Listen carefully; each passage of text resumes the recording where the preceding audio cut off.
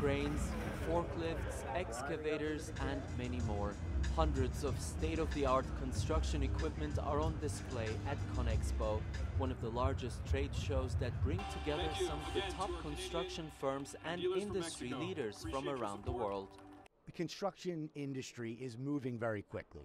It's moving for automation, it's moving for less workers, more done by equipment, and they also want everything done at a cheaper price. So that's really where we stand out.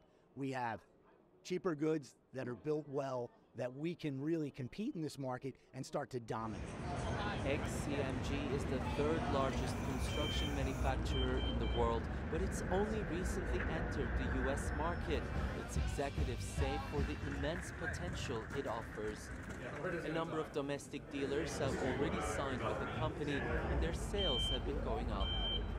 The growth has been more than expected. I think with a combination of a, of a new machine, something that has not been introduced as heavily in the market. Um, customers have been interested. They want to try it. They want to they want to demo the machines, and with that, we've had a, a, great traction in terms of sales. Guys have ran the machines, they've tested the equipment, and they want to purchase it. They want to move forward. With the new technology and advanced features, these machines are no longer limited to industrial use. Even beginners are welcome to try. This is one of the engaging demonstrations they have here in this show for the visitors because if you can put one of these rings around one of these gifts, you get to claim it. But even for people like me who have no experience whatsoever with one of these machines can actually do it. And it goes to show how user friendly they are and also how precise they are when it comes to controlling them. A major theme in this year's show has been the electrification of construction equipment.